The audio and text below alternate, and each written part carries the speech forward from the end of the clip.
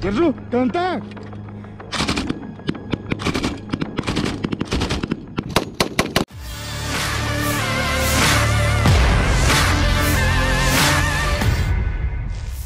Rekaman personil yang dimobilisasi menguasai taktik pertempuran di tempat latihan di wilayah Kabarops tersebar di media sosial Telegram pada Rabu 12 Oktober 2022. Penembak senapan mesin melakukan tembakan langsung berpasangan dan melatih keterampilan gerakan mereka di medan perang.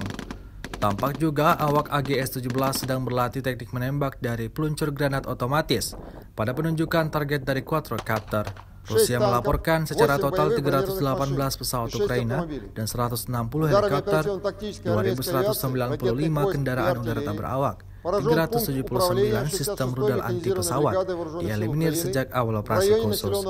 Sementara itu dari kubu Kiev, Kementerian Pertahanan Ukraina melaporkan 240 tentara Rusia dieliminir dalam sehari terakhir. Total 63.110 prajurit Federasi Rusia meninggal sejak awal konflik hingga hari ke-230.